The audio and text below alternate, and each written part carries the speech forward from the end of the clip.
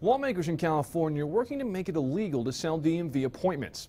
Assembly Bill 317 would apply to people, firms, or associations.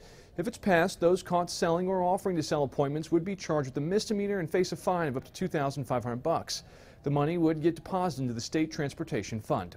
Matt Ure, CBS 13 News.